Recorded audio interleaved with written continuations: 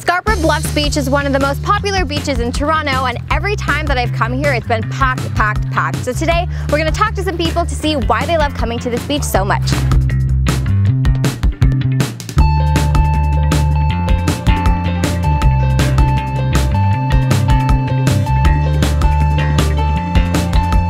So we're at the beach right now at the Scarborough Bluffs. So Mm-hmm. out of all the beaches in Toronto, why do you like this one so much?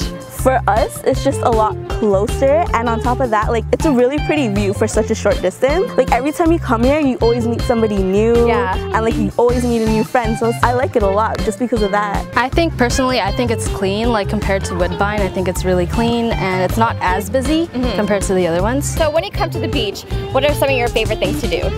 I just like, you know, taking a nap, laying in the sun, you know, relaxing.